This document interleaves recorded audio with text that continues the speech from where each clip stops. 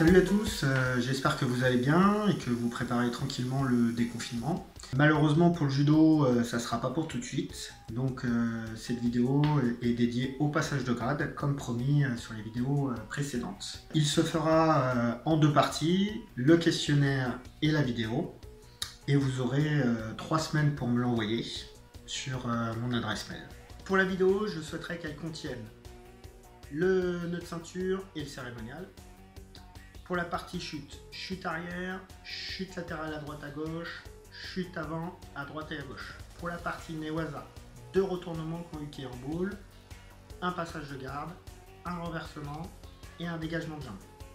Pour la partie Tashiwaza, je souhaiterais trois techniques debout. On commence par des, uchikomi en statique, uke pousse et je soulève. Je souhaiterais aussi, euh, quand uke tire, deux techniques et quand Tori tire, Uke résiste, une technique.